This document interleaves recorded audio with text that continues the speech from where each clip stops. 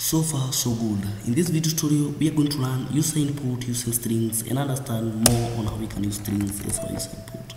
The first thing I want to say is that you don't have to call this variable in, scanner in, you can also call it even the name Benson if you like, okay? Anything you want because we say that this is a variable, this is a class and a class is like a type.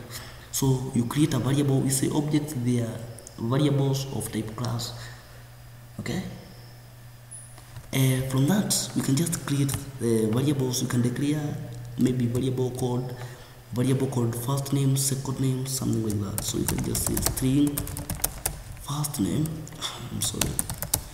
So second name and full name. It's always good to name your variables something that makes sense because sometimes you see person just saying string A, B, C. So what does that mean? So you have to give your variables a relevant name according to what they are doing okay?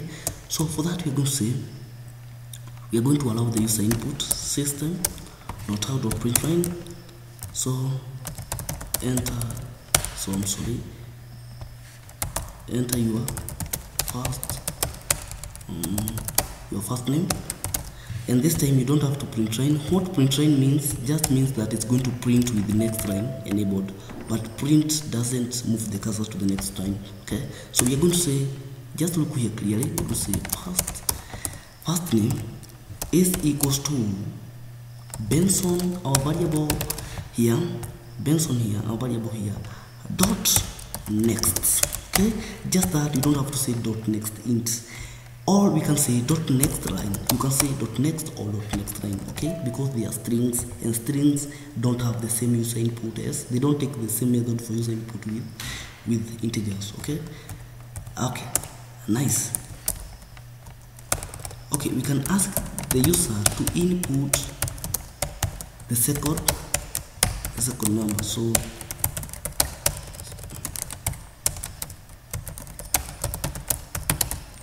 the second name sorry. So let me go say so second name is equals to Johnson dot next line. Alright and inside here going to say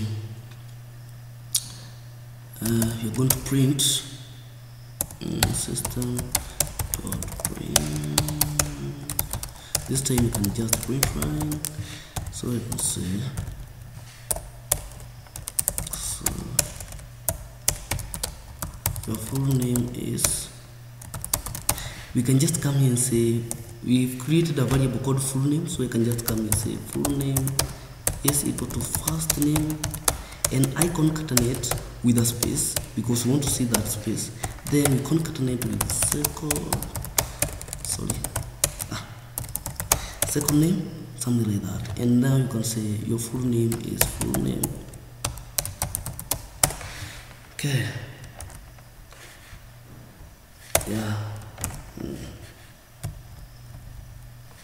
your full name is full name and if you uh, run the program you're going to say enter your first name and I'm going to say my first name is Benson and the second name is Carol you can say your full name is Benson Caro and you can see that's how you allow the user input. So let's run very quickly how you can allow the user input for the double and you can say so for example you have double double maybe first number.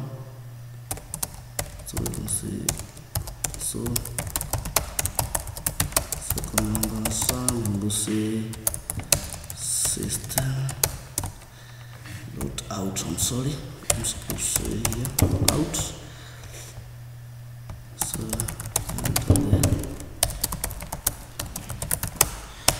enter the first number. This is going to be print not print. Alright okay. And then you're going to say first number is equals to Benson dot next next double okay? You just say dot next double and it's going to print. Even for the floats for the floating numbers just call them next double and it's going to work okay? You don't have to worry so much about them. So system dot out dot print go say I enter enter the second number and for this you say second number is equal to benson dot next. Next. Okay. Then you go say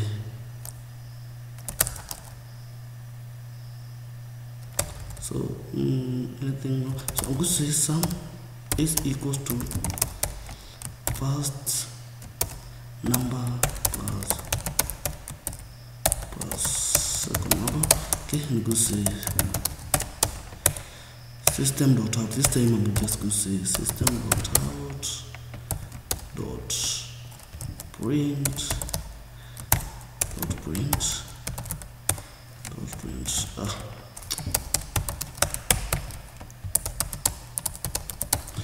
Your sum is concatenate with the sum okay? And then you run the program. You go see enter the first number is 20 so so enter the same number is 20 the second number is 20 and you can say your sum is 40 okay? Because